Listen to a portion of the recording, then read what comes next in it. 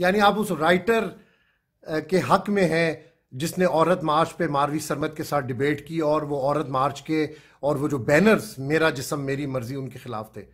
دیکھیں یہ چیزیں پہلے لفظ بیکار ہیں۔ یہ لفظ جو جو ہے نا میرا میرا یہ چیزیں آپ اپنے اندر تو اپنے آپ تو کر لیں مگر آپ ایک ایک لوگوں کو بتا رہے ہیں نا یہ چیزیں کچھ چیزیں وہاں ہٹ کرتی ہیں آپ کو۔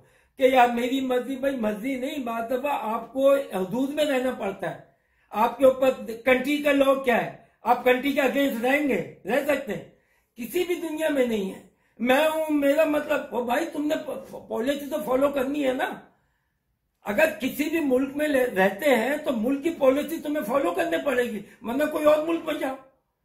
تو کسی بھی لائف میں ایسے مسلمان بھی ہمیں جو چیز بتائی گئی ہے، ہمارے آقا نے ہمیں وہ چیزیں فالو کرنی ہے اور اس کے درمیان کوئی آئے تو وہ تو فائنل ہے۔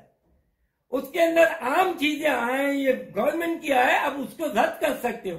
کیونکہ جو مائٹل مائٹی والی جو بات ہے جو رب سرکار آپ نے سرکار نے بتا دیا ختم اس کے آگے نہ یس یا نہ کوئی بات ہی نہیں ہے۔ یہ انٹرنیشنل این جی اوز کا pressure international N G Os بھی مونوپلیٹ کرتی ہیں پاکستان کے اندر یہ سارا کچھ کرنے کے لیے۔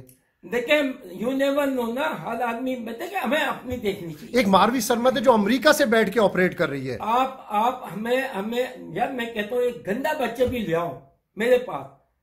میں اس کی کیوں سنوں گا؟ میں اس کو صحیح کر کے بھیجوں گا۔ کیونکہ میں نے اپنا دیکھنا ہے نا۔ اب مجھے کیسے بکا سکتا ہے؟ کیسے بکا سکتا ہے؟ چاہے امریکہ یہ کو تم نے اپنا پارٹ دیکھنا ہے۔ ہمیں اپنا پارٹ ہمیں مسلمانوں کو اپنا پارٹ ہمارے ہمارے آقا نے ہمیں آپ صلی اللہ علیہ وسلم نے جو ہمیں ہدایت دے دی ہے، ہمیں وہ فالو کرنی ہے، بس اس کے اگینسٹ کوئی بھی ہے تو بھاڑ میں جائے۔